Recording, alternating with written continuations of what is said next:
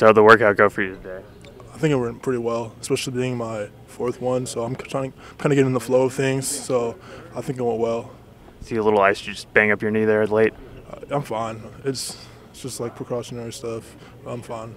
Nice to have a UCLA teammate here in Bryce going through the workout with you. Yeah, definitely. We already have the chemistry, and being on the same team was was really fun. It brings back good memories. So it was nice. Obviously, a lot of talent at UCLA this year. You were asked to play a very specific role. Do you think that prepared you for the next level and the kind of things teams will ask of you? Yeah, definitely. Coach Alford played me to my strengths and put me out there to, and I think I did pretty good in my in my role. So I think that's going to translate as I go on to the next level.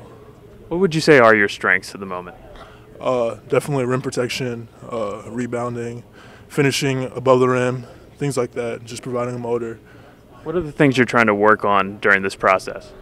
Uh, definitely just um, fixing up my touch, uh, post moves, go to moves, counter moves, all that. Just just becoming a better all around player. If you were to tell a scout to watch one particular game from your time at UCLA to kind of prove like the type of player you are, what game would you choose and why?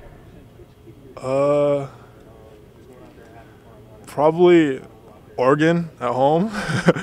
yeah, I remember that game was pretty big for us, especially we lost. That was our first loss of the season, so getting getting revenge basically was pretty good, and we came back down.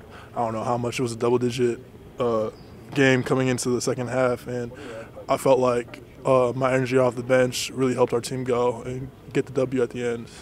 Lastly, I got to ask you about Bryce. Uh, obviously, a very young team. He was one of your few seniors. What impact did he have on you guys this year? Uh, definitely just all our heart. He's been through it all. He's seen the ups and the downs and everything like that. So he saw things before it really happens, and he prevented a lot of a lot of downtime in our season. So I really got to give thanks to him, uh, showing showing UCLA and bringing back the culture that everyone deserves. And I really appreciate him being my teammate last season.